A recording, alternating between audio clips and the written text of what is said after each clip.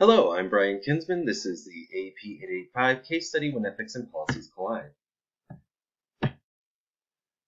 Uh, here we summarize the case. Uh, James was called to the assistant principal's office to discuss James' third tardy of the week. James' fifth period teacher reports on the way to the office that James was stopped and handed something which she believed to be drugs to David Ramos. We don't address why she thought this was drugs or what this was based on, but regardless. Principal Inman has a meeting with the boys to which he invites the school police officer. David was questioned about the aforementioned handoff and he remains silent. David is then searched by the police officer who produces a set of brass knuckles from his person. David is then immediately handcuffed. James speaks up, claims that David was carrying the weapon on his behalf and under threat of assault. But James is then handcuffed as well, and both boys are taken to a detention facility. Uh, Assistant Principal Inman calls the parents of both students involved. Uh, James's mother seems uh, frustrated and disinterested, whereas David's mother is frustrated and emotionally invested. She comes into his office. Here, the assistant principal doesn't have a great answer as to what happened and why, but directs her to the detention facility. Uh, one week later, we see James is in uh, alternative education, alternative suspension program, uh, whereas David is back in school. The Director of Secondary Education orders the principal Inman to file uh, the expulsion, and if he is not, he would be officially reprimanded. Section 2. Let's look at the legal and ethical issues. If James threatened David into holding the weapon, he's been harmed materially, legally, and possibly mentally as well. I think uh, Assistant Principal Inman caused David undue anguish by sending the officer to retrieve him from the class rather than a school official. I think this was lightly considered. The consequences of Principal Inman's decision to include the officer in the meeting caused David and James uh, harm. On its face, David did possess a felonious weapon and made the decision to do so, but it is, is it ethical to punish him for it? Assistant Principal Inman does not treat the boys equitably in his decision to not expel David from school. That could open them up to some more problems. If the officer is acting as an agent of the administration, his search of David may have been illegal. We will consider that later. Assistant Principal Inman must weigh his personal ethical obligations against the unwavering zero tolerance policy of the district. This case study presents the difficulty of a building a building level leader faces in making choices that are oriented within a framework of sound ethical and legal decision making and the challenges that the consequence of those decisions present to their personal and professional relationships even when a leader may feel as if they've appropriately modeled ethical behavior. This is a challenge all leaders will face and even if you feel like you made the right choices, you might end up in a situation like this. We have the people involved here. Assistant Principal Inman, first year administrator, cultivates relationships with troubled students. James, a male student who's troubled uh, issues with violence and tardiness, although he's been improving in recent months, claims to have threatened David into carrying contraband. Uh, David Ramos, male student, uh, honor student stand-up musician found to be in uh, possession of the contraband weapon. School police officer, uh, arresting officer in the office during the proceedings, transports both students to the facility. Uh, the boys' mothers. Uh, James' mother seems unsurprised by the situation. David's mother, however, is emotionally distraught. Meets with uh, prin assistant principal Inman and inquires about the school policy and its fairness. And the director of secondary education here uh, this is who orders Inman to proceed with the expulsion and informs him that he will be officially reprimanded if he does not comply. Let's look at the places and programs here. The case takes place in Rocket Junior High. It is during the spring season. Based on assistant principal Inman's description, one can infer that Rocket Middle School is composed of students from mixed socioeconomic backgrounds and those from the South Side face a more challenging and violent existence. It appears students from this neighborhood stick to stick close to one another and may segregate themselves from the larger student body. This uh, uh, middle school follows a period model with students ranging from at least 13 to 15 years of age.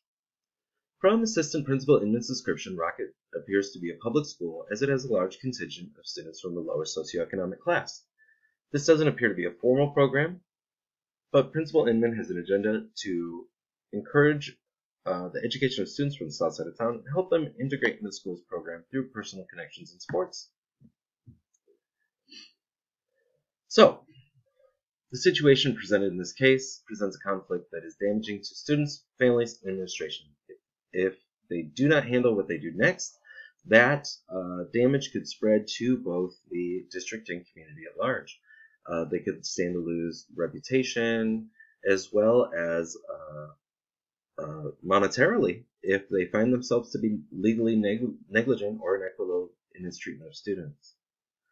I'd like to learn more about the nature of the search taken by the school police officer. While students have a lowered expectation of privacy in school, police officers still behold the legal standards of acting as a state of the as an agent of the police as opposed to an agent of the district. Uh, I've included the case here.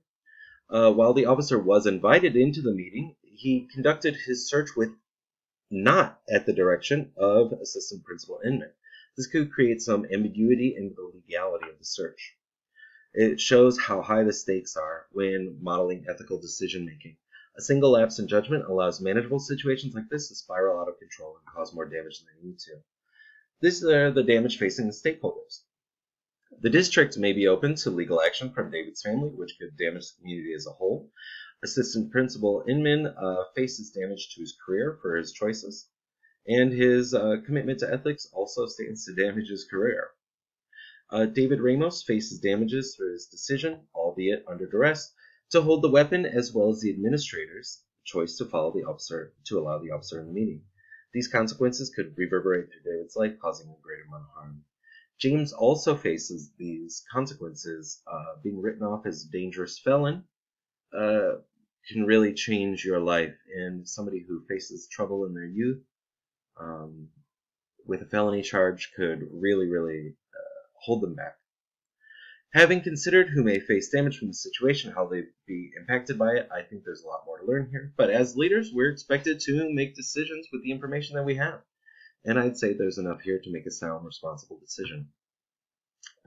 Let's identify the options and possible consequences. In this section, we will use the framework of ethical decision making to advocate for the best possible options.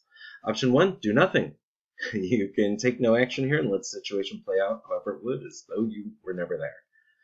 Option two, refuse to sign David's expulsion. Do not sign David's expulsion paperwork and allow the consequences to affect Principal Inman's career. Option three, call for a hearing to review the case for both boys. A hearing circumvents policy, but could allow the community a larger role in resolving the situation.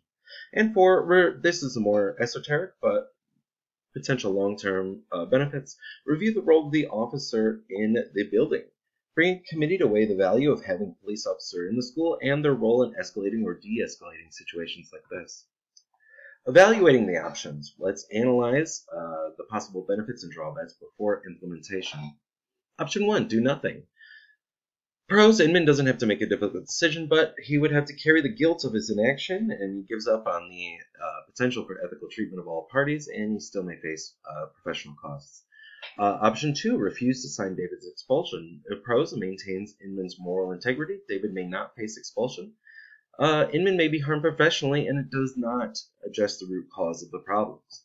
Three, call for a hearing to review the case for both boys. I think this has a high potential for equitable justice for both boys, and and um, but the case may be ignored as it happens sometimes in a in a committee or a hearing, or sometimes they redirect towards standing policy. Option four: review the role of the officer in the building. It could present this prevent this situation from happening in the future. Importantly, it could keep children out of the criminal justice system. Uh, and, but there's potential dissension from some community members.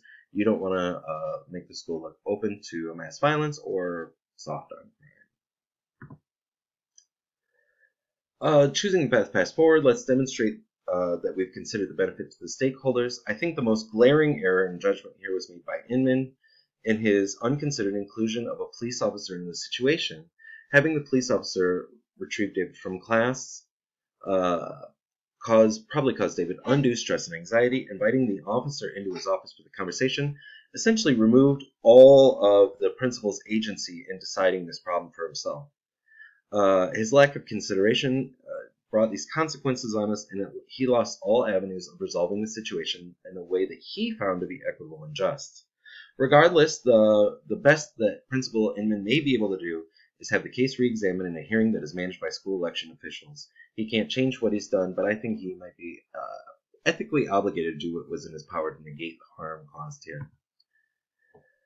Uh, section 9. Uh, implementing your decision, you know, you must understand the consequences when you implement a plan. So the path I'm going to choose here is based on option three, as presented in the previous slides. A hearing to review the case will require several outside officials. Inman cannot act unilaterally to accomplish this. The plan requires uh, Inman to make contact with several key administration officials, including the principal, the superintendent's office, and possibly the school board, and even perhaps members of the public might have to be at this hearing. If a hearing is able to be held, uh, both James and David, as well as their parents, would have to participate. The outcome of any hearing involving this many stakeholders is far from certain. In my experience, district-wide administrators uh, tend to be conservative in their actions, and elected officials even more so. In order for this option to be the most likely to offer an ethical result, Principal Inman here is going to have to give a frank account uh, of his ethical uh, behavior and his failures in decision making. Even if he avoids official reprimand, this is unlikely to benefit him professionally. He has to get up there and, and say his piece for the benefit of the boys.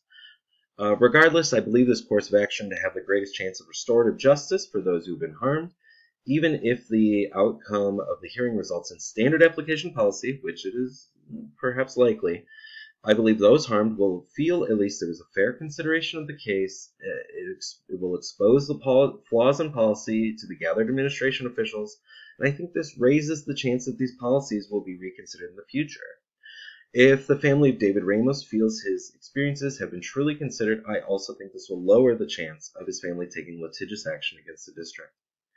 An alternative plan of action here to keep as a backup if Principal Inman feels like the this option did not meet the standards of ethics still, unfortunately, this will likely have removed the issue of David's expulsion from his purview. He won't be able to make the same stand he would have been if he executes this option. Uh, but he will be able to state his objection to the gathered officials. I would then recommend that going forward, he redirect in his efforts in option number four, uh, examining the policy regarding the presence of school officers stands to provide benefits for the student in the future who may face similar situations. If you might not end up where you think you're going to end up, but I think that uh, Principal Inman here still has the potential to benefit many students going forward, and and maybe they can review and establish a policy that involves just who the police officers work for when they're in a meeting with students, when they're in when they're in a situation with students. Uh, that ambiguity there benefits no one. It doesn't benefit the school, it doesn't benefit the students, and it doesn't benefit the community. So I think that uh, reevaluating that is the best possible outcome short of the restorative justice for David and James uh, that could come from a panel. Uh, thank you for listening to me reading as fast as I could and speaking as fast as I could. Uh, I hope that this brings a new perspective onto this case and and uh, helps anyone listening uh, when they're facing a similar situation going forward. Have a nice day and thank you for your time.